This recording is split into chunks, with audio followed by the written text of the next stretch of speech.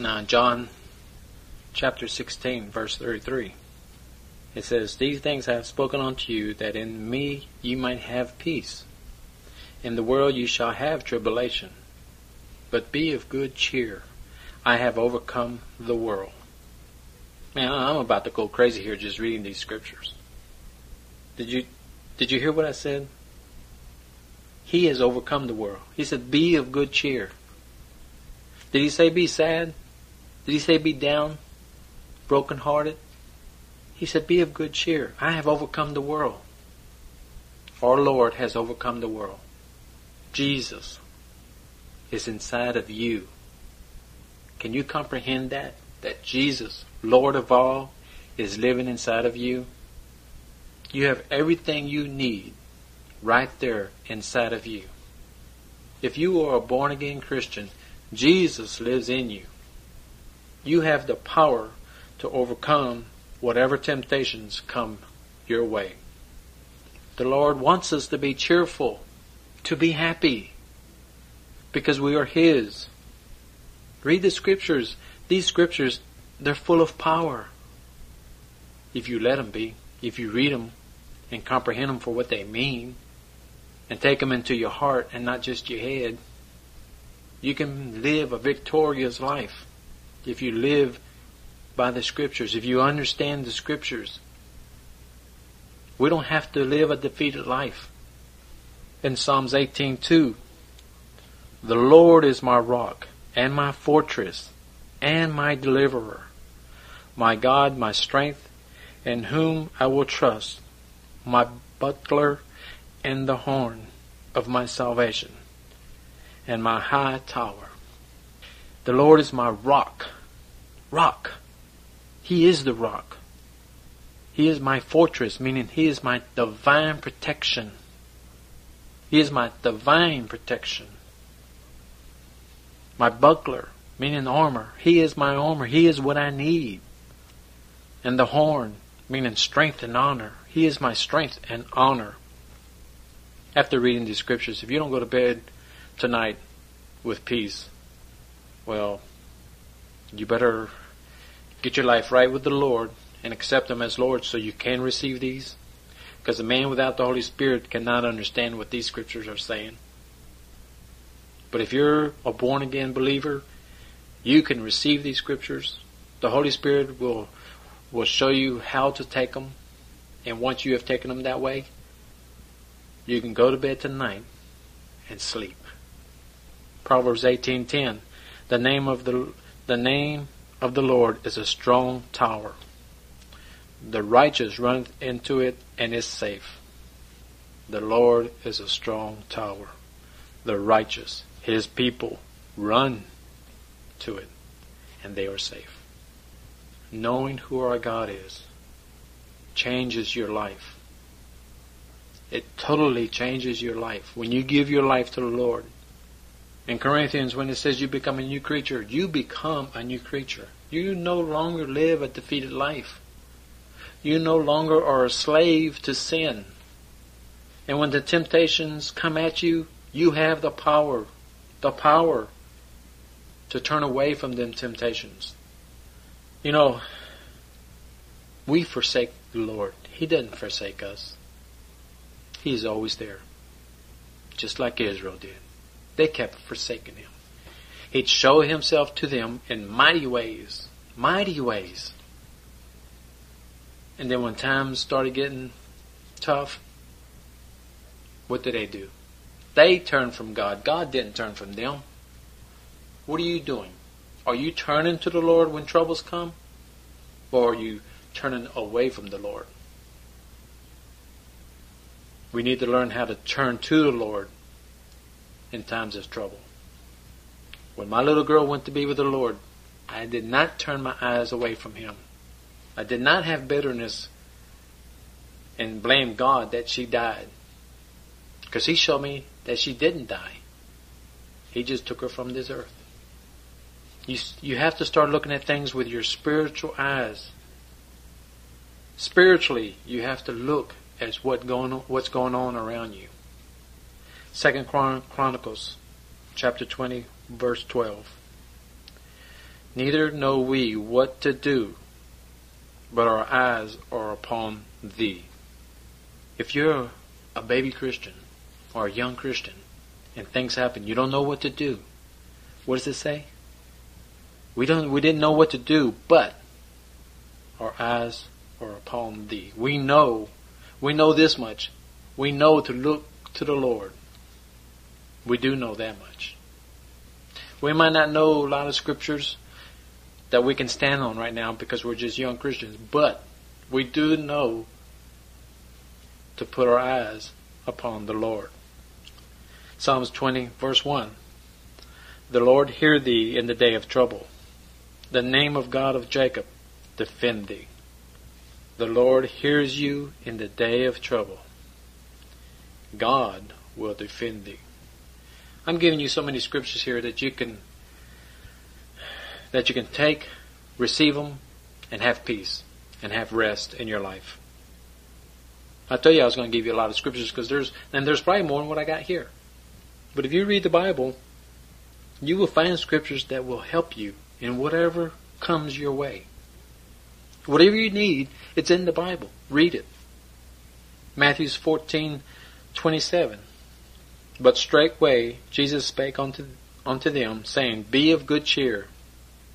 It is I, be not afraid. The Lord, is, is, He's always telling us, Hey, be happy. Be happy. Be not afraid. I am with you. I am your Father. I will take care of you. I have overcome death. I resurrected from the grave. Death has no hold on me. If I can defeat the devil in the grave, then nothing can touch me. Romans 12, verse 12. Rejoicing in hope. Rejoicing in hope. Patience in tribulation. Continuing instant in prayer. That's the way we should be. Rejoicing in hope. Being patient when tribulation does come our way. Was the was Israel patient when they were down at the mountain waiting for Moses to come back? No. The Lord says, be patient. He will take care of it. He might take care of it quick, or He might want us to go through something for a while. But He's there to comfort us while we're going through it. He says, be continually in prayer. We should always be praying. That is one of the most powerful weapons the Lord has given us. That's prayer. Matthews 11:28 Come on to me all ye that labor and are heavy laden and I will give you rest. That one little verse. The Lord says, "Come to me, all of you, all of you who know me, that are mine. Come to me. All you that are, that are labored and heavy laden, and I will give you rest." This is a promise. If we're heavy laden on about, about something, if we're down and depressed, we need to go to the Lord and He will give us rest. We need to believe this. If we're not going to believe the Word of God, then you might as well not even say you're a Christian. Because Christians live by the Word of God. We need to believe this. The Lord said, I will. He didn't say, I'll try to give you rest. He said, I will give you rest. Christ tells them to come to Him, to believe in Him to trust in Him and Him only for salvation. Doing this, and He'll give us the rest. Please hear the scriptures. Please listen to the scriptures here. If you're having problems in your life and you're heavy laden, listen to the scriptures. Listen to what God is saying to you right now. Right now, if you didn't know this, right now, He is opening your eyes to His peace, to His rest. Romans 8, verses 35 and 36. Who shall separate us from the love of Christ? Shall tribulation, meaning trouble, or distress, meaning hardship, or persecution, meaning hatred, or famine, or nakedness, meaning exposed to danger, or peril, or sword? As it is written, for thy sake we are killed all the day long. We are accounted as sheep for the slaughter. Back in those days, it was nothing to kill Christians. Today, we get stoned, but in a different, in a different kind of way.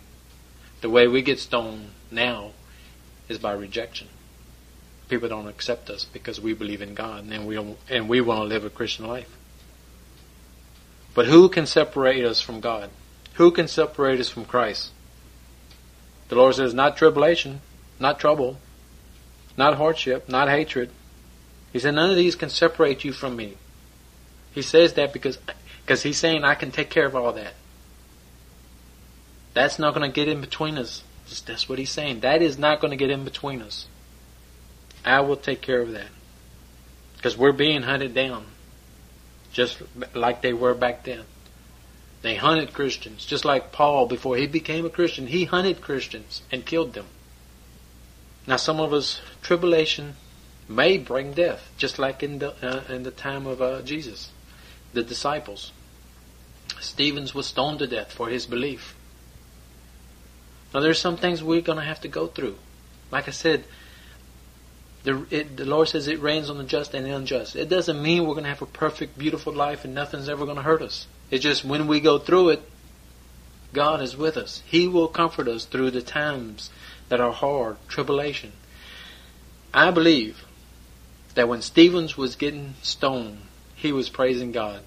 And I believe, and God can do this, I, I don't have the scriptures, but I believe this. I believe that even though he was getting stoned, Stevens couldn't feel anything. Because God was, was, was with him. Just like when they threw the three guys into the, into the furnace. They didn't even get burnt. They were thrown in there to be killed, to be burned to death. Their hair on the body didn't even burn. God was with them. Please receive what I'm saying. Please hear what I'm saying. These are the Word of God. We need to stand on them. We need to believe them, trust them, and stand on them. In fact, you need to listen to this tape more than once until you receive what God is saying to you. Now, the next four scriptures that I'm going to give you, they mean the same thing. In Psalms 9, verse 15, the heathen are sunk down in the pit that they made, in the net which they hid in their own foot taken.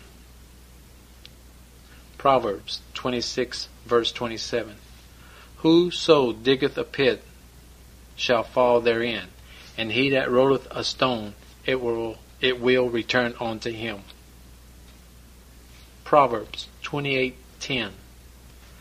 Whoso causes the righteous to go astray in an evil way, he shall fall himself into his own pit, but the upright shall have good things in possession. Ecclesiastes 10:8 He that diggeth a pit shall fall into it, and whosoever breaketh a hedge, a serpent shall bite him. These all say the same thing.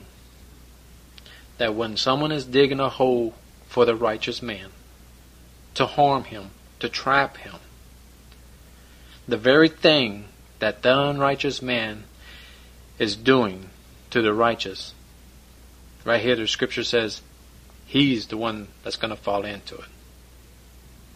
The one who digs a pit will fall in it himself. The one who breaks the hedge will have the serpent bite him. The one who rolls the stone will fall on his own head. Did you hear what I just said? the ones who try to trap us, the ones who try to harm us, whatever they're doing, the Lord says right here, that's what's going to happen to them. It's time like this that we get down and depressed.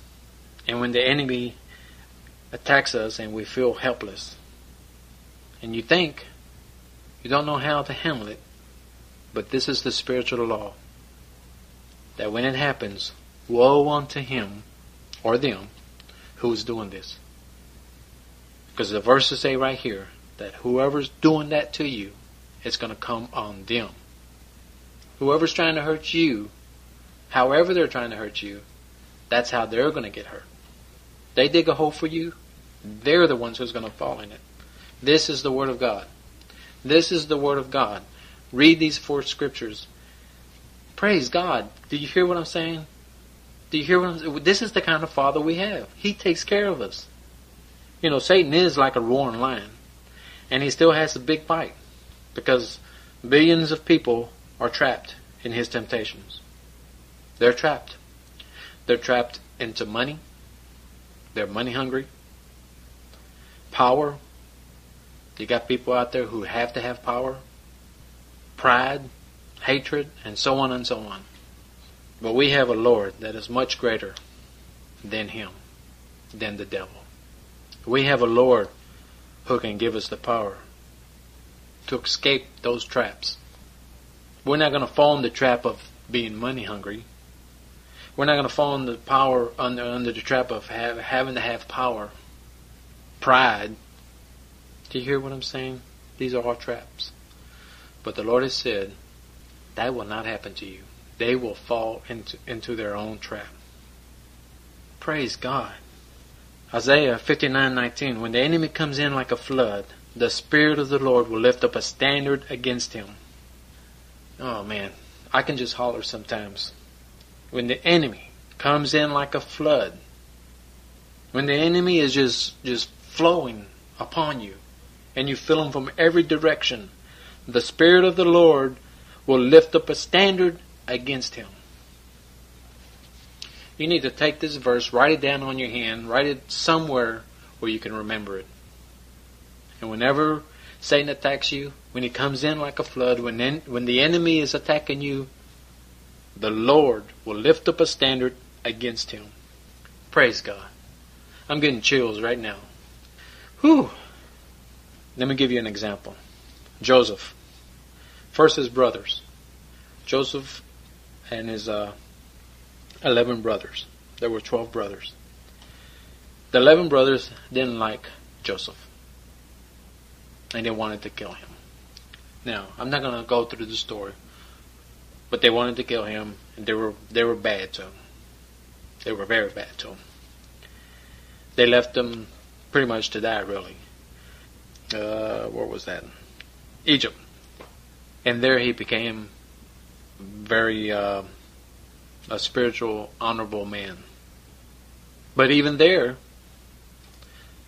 the Potiphar's wife, she had the spirit of lust for him.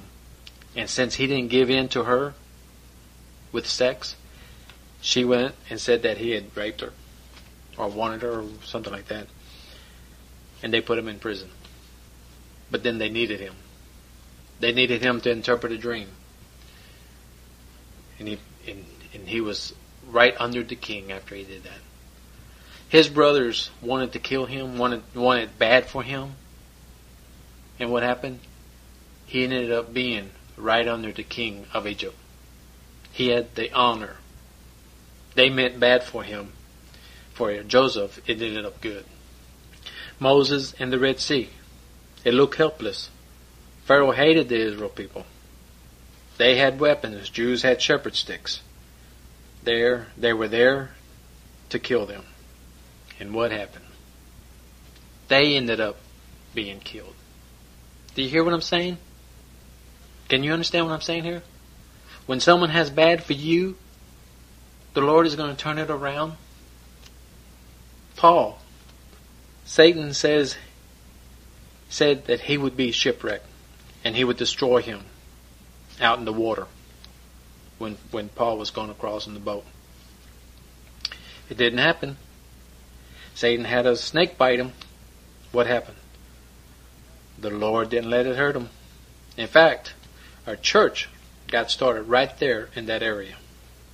In the last part of his life, when they chained him up in prison, when he was out preaching, every time they would put guards on him, they would get saved. Satan tried to destroy Paul.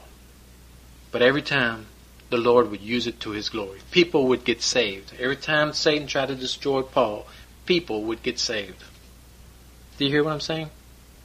Things you got to turn not not you, but but when things attack you, the Lord knows how to turn it around to his glory.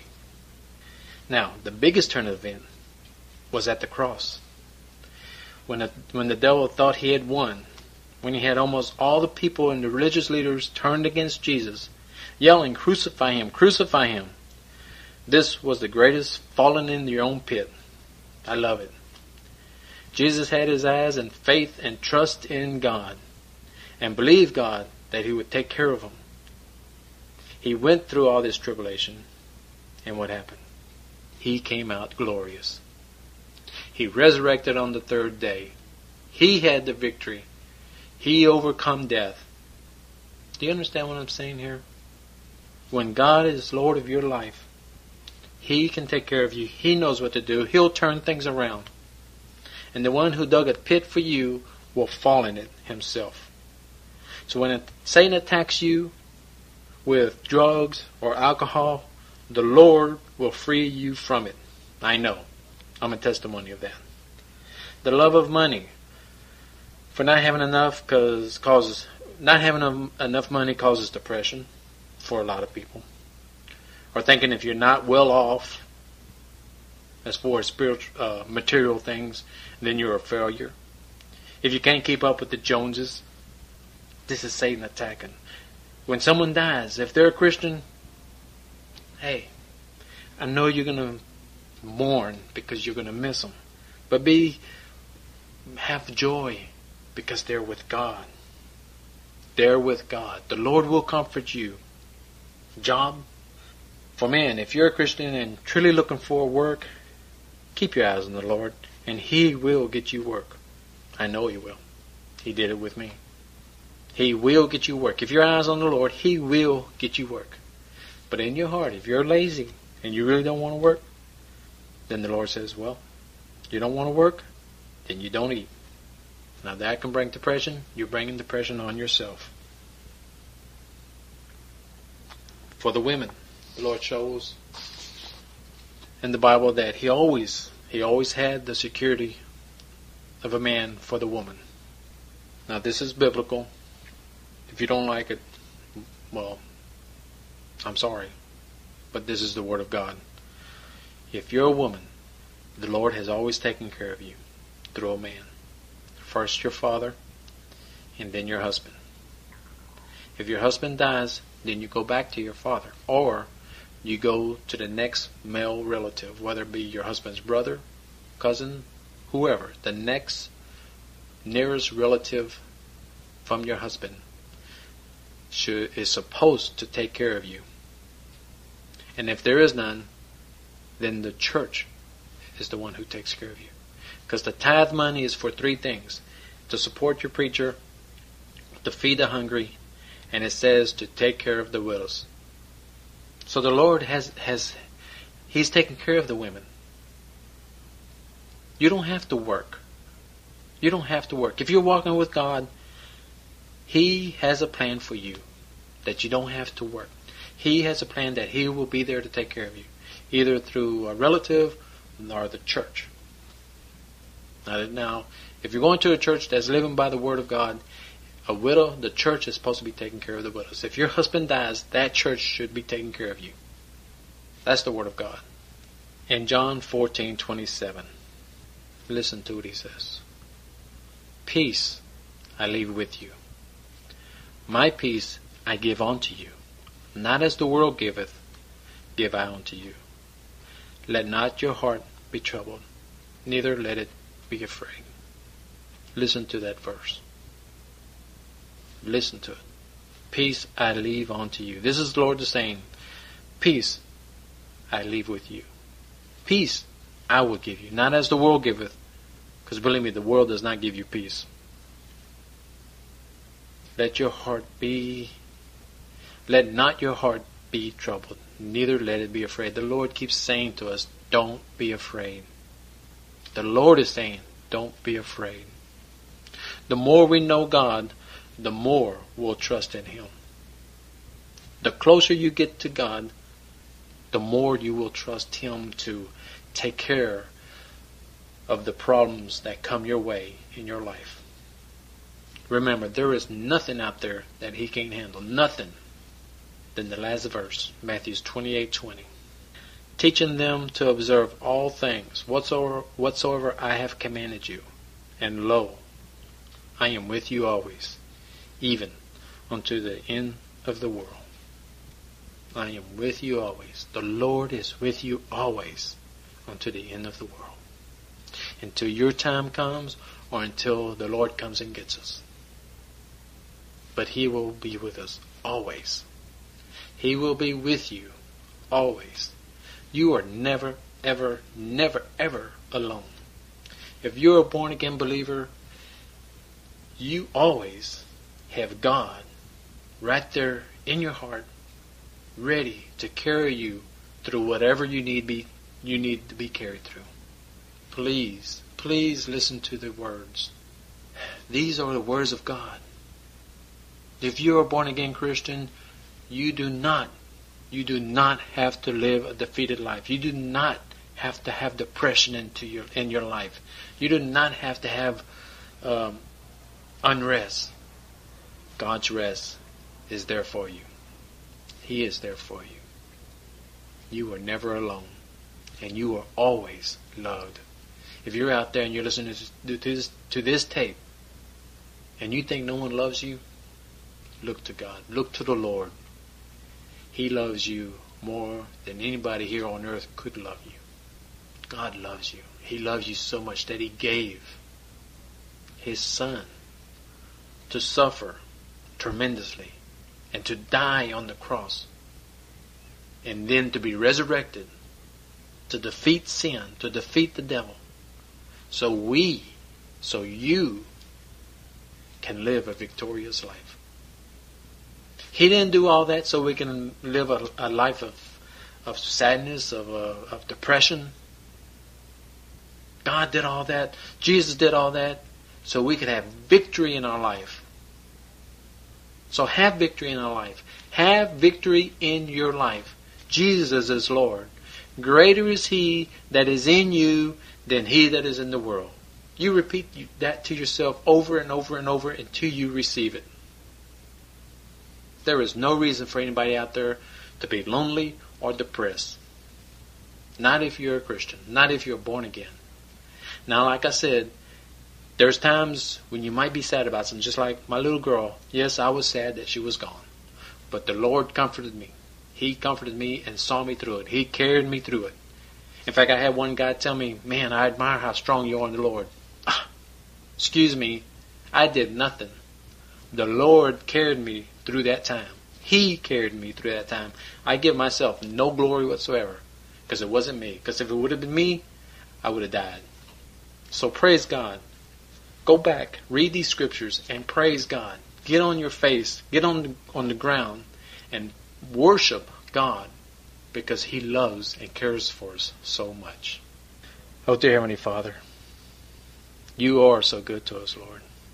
And we need to start seeing, start receiving your words and what they say and what they mean for us. Lord, you love us. You love us more than we can comprehend your grace and your mercy on us is we don't know why you give it to us. But praise God you do. Thank you for these scriptures, Father. Thank you for these scriptures. They should lift us up. They should give us a rest that we've never had before. And God, you're the only one.